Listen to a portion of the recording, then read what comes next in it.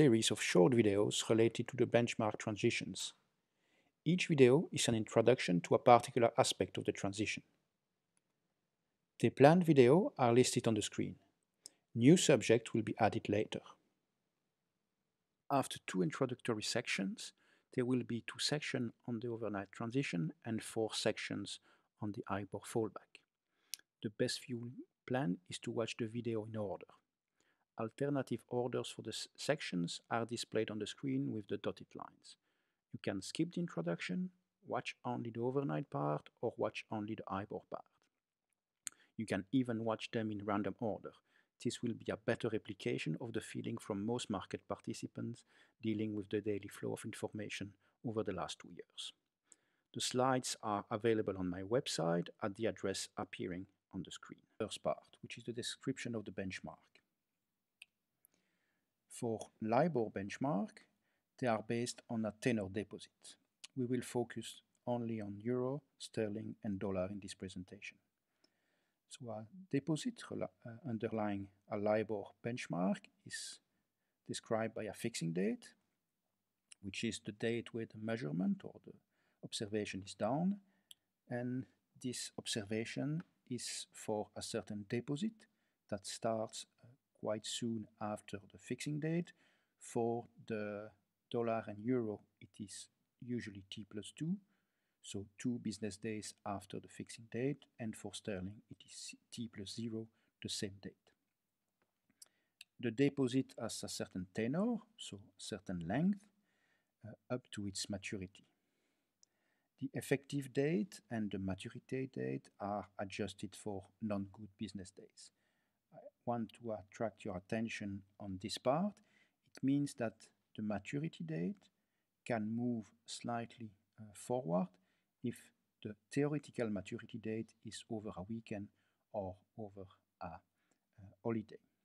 This will be quite important when we will discuss uh, the, the fallback at a later stage. This was for the LIBOR uh, benchmark based on a deposit. For uh, the main uh, LIBOR, um, the main IBOR uh, benchmarks are LIBOR and Euribor. In sterling, LIBOR is, as mentioned uh, previously, starting the same day. So the spot lag is zero business date, and all the dates are to be measured or looked at in the London calendar. The dollar LIBOR is a little bit more complex. The spot lag is two business days, but uh, there are different calendars that enter into account. LIBOR starts with L, which stands for London. So the fixing dates are the good business days in London. Then we need to make a deposit in dollar, which is possible only in the US. So the effective date is based on the London, uh, a mixture of the London calendar and the New York calendar. And finally, the maturity date is based on the New York calendar. For uh, Euro Euribor, the spot lag is two business days, and the calendar for all of them, uh, all the dates are uh, Euro Target. Target stands for Trans-European Automated Real-Time Gross Settlement Express Transfer. This is the joint calendar uh, for uh, financial payment in the Eurozone. The other type of benchmarks are the overnight benchmarks. Again, there is a fixing date, the date where you decide or you measure something. There is a starting date, the effective date, which is the same as the fixing date. Overnight benchmark, meaning you start today just and you deposit just for one night. And then the maturity date is the next uh, business day. There is a small uh, subtlety in the overnight benchmarks is when the information is published. The information is usually published on the uh, maturity date. So the measurement is done on the fixing date, but we as user received information only the next day on T plus 1. It used to be, at least in sterling and euro, that information was published on the same day, but since the central banks have taken over the publication of those uh, benchmarks, the publication date has moved to the T plus 1, to the date, to the maturity date. The main uh, benchmarks for overnight are in sterling SONIA, it has existed since 97. Uh, it has been reformed in April 18 and is now published by the Bank of England. It is based on unsecured wholesale lending. In dollars, there are two uh, benchmarks. A very old one, effective Fed fund rate, that exists since uh, 54. Uh, the payments are based on the New York calendar and is published by the Federal Reserve based on unsecured interbank lending. The new benchmark, which is expected to take over in the US dollar market, is SOFR, Secured Overnight Financing Rate, which exists since April 2018. You have to be a little bit careful there. The calendar for SOFR is not the same as for effective uh, Fed fund rate. It is the government security calendar because uh, SOFR is based on repo. So you need to have the government uh, security uh, open uh, to settle those transactions. It is also published by the Federal Reserve. In euro, there are also two benchmarks. EONIA, which has existed since uh, euro exists in 99, based on the same euro target calendar and is published by EMMI, European Money Market Institute, so a private institution. And it is based on unsecured interbank, unsecured interbank lending. On the uh, new side, there is ESTER or Euro STR, which is which exists since 2019, uh, and it is published by the ECB. It is based on unsecured uh, wholesale lending.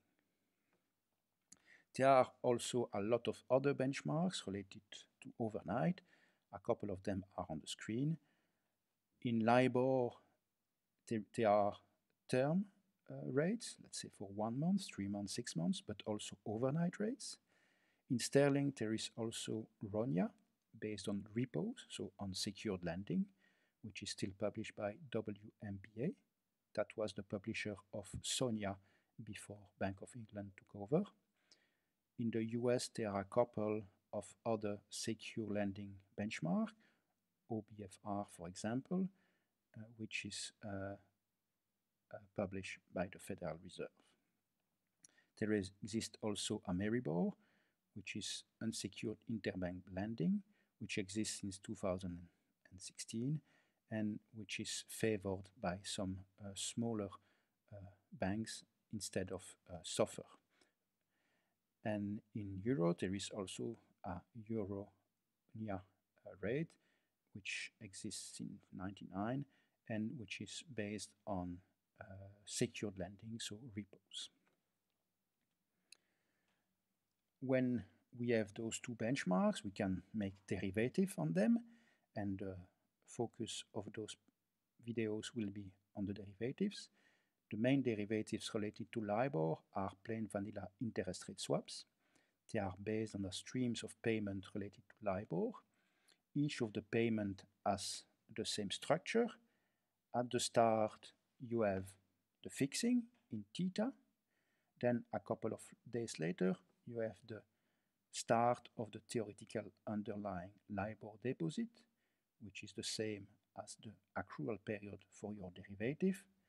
And then you move to the end, where you have a payment date, uh, which is the end accrual for the derivative, which is usually quite similar to the maturity of the underlying deposit, but due to the non-good non business date, it can be slightly different. We will see later when we will discuss fallback that very quite often there is a one day difference there. The other type of derivatives are the overnight related, overnight linked derivatives. Overnight are based on just one day deposit and you don't want to do too many payments. you don't want to do payments every day.